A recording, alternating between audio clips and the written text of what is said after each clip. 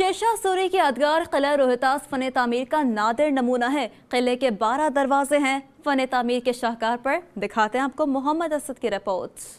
شیر شاہ سوری کی یادگار قلعہ روہتاس سن انیس سو اڑتالیس ہجری میں شیر شاہ سوری نے تعمیر کیا تھا۔ قلعہ روہتاس جو پن تعمیر کا نادر نمونہ ہے۔ اس قلعے کے بارہ دروازے اور ہر دروازہ پن تعمیر کا نادر نمونہ ہے۔ شیر شاہ سوری نے یہ قلعہ گگڑوں کی سرکوبی کے لیے تعمیر کرایا تھا۔ اس قلعے کے این سامنے شیر شاہ سوری کی بنائی ہوئی جرنیلی سڑک گزرتی تھی۔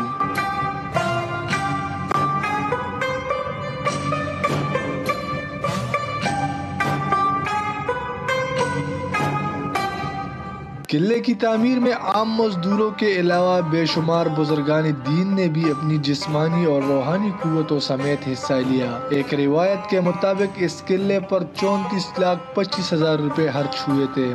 قلعے کی تعمیر میں تین لاکھ مزدوروں نے بیک وقت حصہ لیا اور یہ چار سال سات ماہ اور اکیس دن میں مکمل ہوا تھا۔